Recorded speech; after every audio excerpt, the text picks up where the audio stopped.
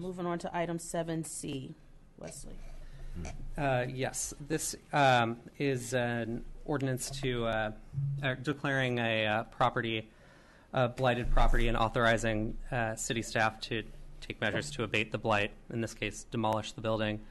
Um, The city has a fairly long history with regard to this property. Um, I understand from our files that there have been complaints dating back to 2007 about the peeling paint, rotting siding, unauthorized use, um, and so on. Back in 2013, the city looked at declaring the property a blighted property and authoring, authorizing staff uh, to take steps um, at that, the similar steps at that time, so demolition. Um, and part of how the city got to that point then was that contact with the owner of the property was incredibly difficult. Um, we had a lot of trouble reaching the owner of the property um, and trying to communicate with them and get a plan out of them. But at the last minute, the property changed hands. I understand there was kind of renewed hope that uh, the property would be cared for by the new owners, and so it kind of fell off the city's radar. Um, but back in August of 2016, the city again uh, began attempting to reach the uh, now current property owner. Um, and the deputy building official sent several notices. Uh, the property was unfit for human habitation, and the notices uh, required the owner to contact the city to further discuss the property. And um, eventually, I worked with the deputy building official to secure an administrative search warrant to go in and look at the property and do a more thorough inspection um, in order to update our notices that were being sent out to the property owner and also to get an idea of just how far uh, things had deterior- deteriorated since 2013. Um, staff decided to initiate the process to have council declare the property uh, blighted property. Um, uh, a, um, and under state law, the property owner had uh, 30 days to respond with a blight abatement plan that the city deemed acceptable. Uh, towards the end of that 30 day period, uh, so in late May, the owner did come to the office and discuss the property uh, with me and uh, Chris Brown, the city attorney, and the deputy building official, but didn't ever submit an actual plan. Um, and then on Monday, I met again with the property owner, and she does say she's begun taking some steps uh, to get the appropriate release letters that she needs and the permits and so on to have the property demolished. But my understanding is there hasn't been any sort of contract with any company to come do the actual demolition um, or any set dates on when demolition would begin. Um, at this point, staff is interested in basically nailing down a reasonable timetable on this. Um, while we're glad the owner has finally made some contact with the city, it's been four years, give or take, since they bought the property without any signs of work being done. Um, so staff would like to go ahead and have the property declared a blighted property and get the authorization to um, demolish the building. If it turns out the property owner does suddenly move forward with demolishing the building herself anyway, uh, that's great. Then we don't have to do it. Um, but if the owner is going to do that, we'd like to be sure that the process moves along quickly.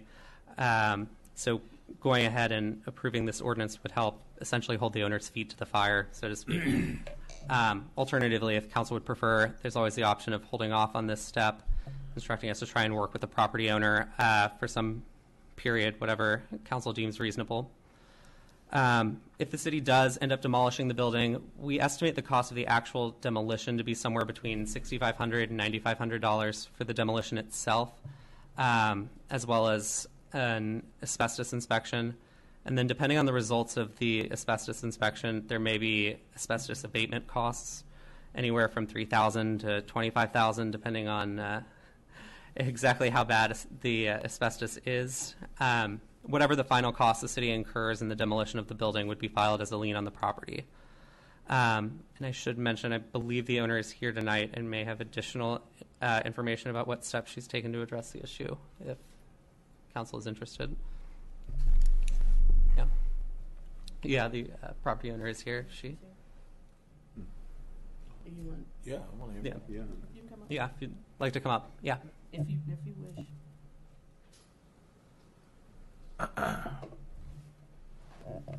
Does that, so she understand, well, we'll find out. Um, I, I want to say mm, my English is not very good, so probably I cannot understand all of that. Yeah, just uh, mm, I came here just want to uh, explain. Um, I already started like apply uh, the permit, and uh, get a, I don't know how to say it. So, um, yeah, we try. I try to find my friend uh, help me, like uh, finish doing that in about uh, one or two months.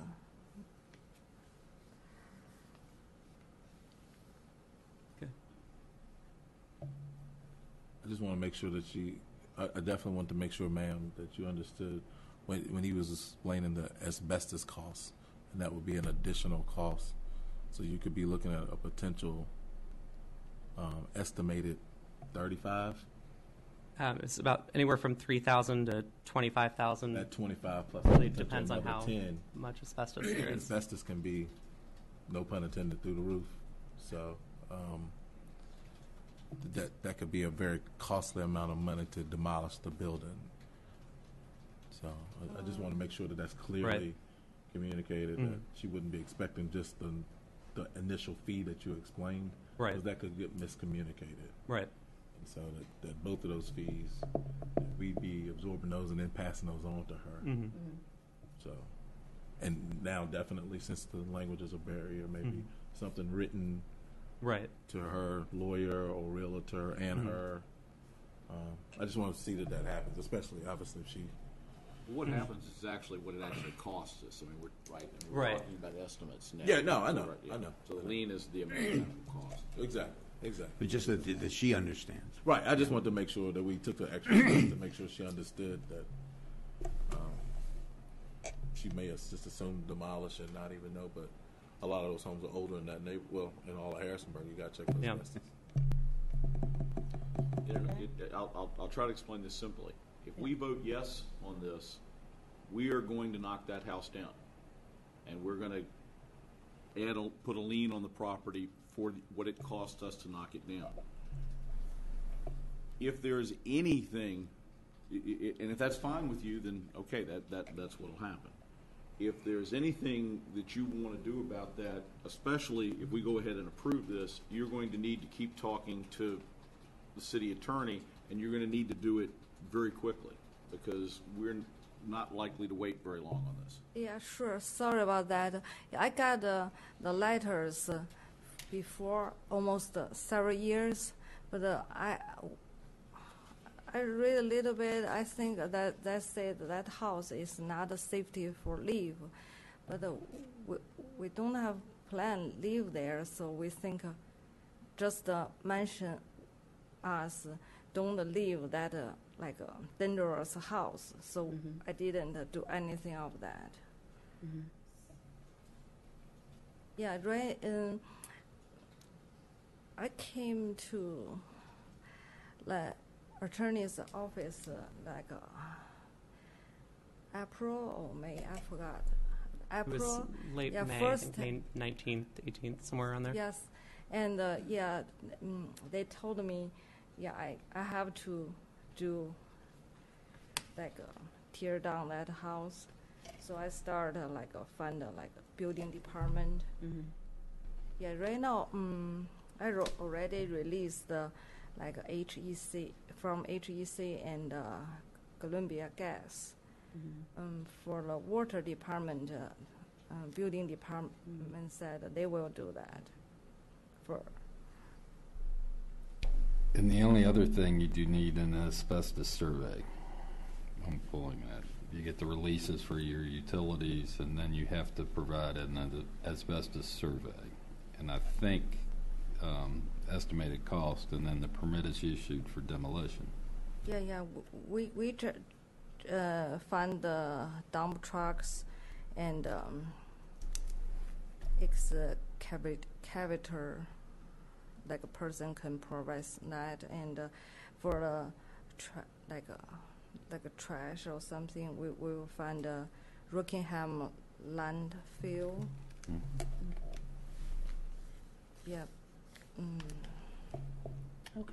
Yeah, we will. Tr- we, if I got a permit from building p- department, we will try do that very soon. So is there a reason why you hadn't responded for all these years? I'm sorry. Why had you not spoken to us over the four years? Oh, I don't understand that later. I show somebody else. He told me uh, the house is too old. It cannot live. It's dangerous. So I think uh, just uh, don't leave that house. So I, So you just let it sit there? yeah, I think I, I don't live there. It's okay. So I didn't. Okay, Uh, Okay. okay. Any other questions? Do you have any other questions or about anything? Um, yeah, right now I, mm, I know if I, I have to tear down that. If I have any questions, yeah, I, mm, the, the people from building department they really help me. Like, uh, yeah, right. Like I don't understand, I will bring for them. Not show somebody else. Just tell me, oh, Mhm. Okay.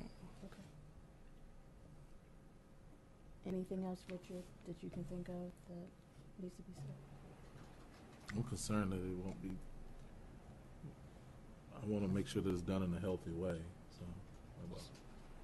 Well, again, I think if we, I, I think the answer is if we approve the ordinance, the city will proceed on that. If Yeah. it can, if the city can work with the property owner, um, Mhm. I think we'll do whatever we reasonably can to, Yeah. to do that. But, uh, obviously, if we're doing it, that's, that's gonna be a given. Right. Right. Um, Exactly. So we'll have to be satisfied. And I just want to be clear, so this has been kind of in the, in the works for over four years, or this has been an issue for I over first four years? visited this property In '08, in oh, oh nine. '09. oh nine. Okay. Uh, and I've been talking about it on and off since then. There, I mean, unfortunately, another aspect of it, there are a lot of good people who who live right in immediate proximity to this property, and Yeah. it has been, to say it has been, I think it's safe to say this has probably been the single biggest problem property, certainly if you talk about residential properties in the entire city over, over that time period. And we've looked at various things to try to, try to do something about it. And, yeah, so this is not, uh, not, not a point that we get to happily or one that we got to in a hurry. In fact, I think there's probably some folks out there who wonder why it's maybe taken this So long long. to get, get here. And it, and it really got to the piece that, that, that was the piece it was talking about, that, um, changed ownership, and there were some submissions, I actually believe, about some steps that were gonna be taken care of to correct the, the blighted situation, and then just nothing was ever. I, if I, I- there was literally a new door put on the house right away, and that was, a may, may, might have been a little work done inside, and that was it, and then, then everything just ground to a halt. Mhm. And that's three years ago now. Okay. So it seems like this is something that we, we kind of waited and looked at long We- enough. Well, well, when, when the property changed hands, there was, there were, there were representations and there was a hope that they were gonna Mhm. rehabilitate the property and move, move in positive directions. There were some early, very encouraging signs. And then nothing back to the point where I, I know people approach, approach me again, hey, what happened to this property? Why is it, Yeah, you know, it's, still continues to be a real problem for, problem property for the neighborhood. So say, yeah, you gotta take care of the health of those citizens in the community, and we can't. I would, yeah, I wouldn't feel comfortable walking away from this conversation, right. leaving that in the. I, I heard you mention Wesley that you know it'd be possible for the owners to take care of the demolition, and quite honestly, based off of the history and the conversation, I don't even. That's what I don't feel comfortable with that at all. Uh, to be very, that, that's why I brought up the health piece. I know if we do it, we'll do it right Right. and we'll do it soon. Um, and I guess if that can be overseen if the property owners do it, I guess that's okay. But I can't say that we would 100% trust that. That was why I brought that piece up. I think it's about that time. Yeah, I Yes, think sir. we're at that, that time. Uh, Mayor, I'd like to make a motion to um, approve the ordinance to demolish 226 Kelly Street. Okay. Second. Any discussion? You know, we just, we got to take care of the health of the citizens around it and the property owners that are taking care of that street. So, Okay. Roll call, please, Mary Hope. Councilmember Jones, aye. Vice Mayor Baugh, Aye. Councilmember Byrd, Aye. Councilmember Hirschmann, Aye. Mayor Reed. Aye. Thank you. Thank you. Mhm. But uh, uh, I, I s- not really understand. We'll get Wesley to speak to you Right, afterwards. I'll speak to you. Okay? Okay, Sure. thank Mhm. you. Thank you. Yeah. Uh, what time? I wait or later? Um, yeah, if Right, you can can wait, yeah. okay, thank you. Great. Mayor, uh, Giannakouros again. Um, This is an opportunity to bring up an interesting technical point, maybe it's interesting. Uh, Are items that have already been worked through on the agenda no longer on the regular agenda? Uh, Just a technical question to wonder about a little bit. But uh, without getting into that, uh, I think to address Mr. Barry's concern, which is a concern that a lot of people have had, um, it, this might be a good time to have a sense of orders of magnitude, the kinds of things, the kinds of costs that people in the city face. Um, I alluded earlier to the proportion of people's uh, income that is going to rent. City staff has numbers on that. That might be a good thing to look at. Some of those numbers also show how much disposable income people have left over, and that can help us think about these issues a little bit. Something that hasn't really come up uh, is uh, tax incidence, a word I used before. That is, who ends up having to pay taxes. For example, people will say if you put a tax on something, it will just be passed through to the consumer. If we think about that with respect to housing and rent in particular, it might be useful to note that we have a rather interesting, rather strange rental situation in Harrisonburg, and that we've got a big university in the middle of the of the uh, of the city. I believe, and I'm not sure, this is an empirical question, but I believe that there's a sort of a price floor that is set by dorm housing. In other words, if you charge less than what the dorms are charging, you're going to fill up your property with students who may be hard on the property. So that, if that's really true, that would put a price floor on rents. On the other hand, if you try to raise rents above the salaries that are paid, for example, in the food processing industry, then you're going to get people doubling up and being creative, and you're going to get empty units if they're not to a specification that maybe students with more money might like. That would put us in an interesting tax incidence situation, saying that, you know, it might be, uh, it might be hard. you know, just we might want to think about that tax incidence in terms of the magnitude of how much people are paying. In 2012, uh, City Council approved a request by city staff to that staff said would save the city maybe two or three hundred dollars, maybe every year or so, on foreclosed properties, which was an issue back in 2012. That change in ordinances was a change to 10658, the Tall Grass and Weeds Ordinance. And after that change was passed, dropping maximum height from 15 inches to 12 inches, people in the city started mowing twice as much. Now, how much does that cost an average house? Angie's List says it's $1,000 to maintain your lawn if you pay a service. Let's say we started, be conservative, we started at half that because we doubled our mowing. That means you're going from 500 to 1,000. That's $500 cost imposed on people. It's something to think about. It's something to look at. The numbers are there. People started mowing more. Anecdotally, I have confirmation of what I'm seeing in the measurements. So I think it's good for us to put things in perspective and then maybe look at a little bit of history as well, which I can maybe talk about in a future time. History that I do want to note 50th anniversary of Loving versus Virginia yesterday. A major accomplishment, a lot of work still to be done. It's also the anniversary of the shooting at the Pulse nightclub, reminding us we are not done yet with the important work that has been going on. This is something people don't know that has been going on in Virginia for a long time. Um, we in Harrisonburg were leaders in the 19th century after the Civil War in fighting for equal rights and protecting property rights.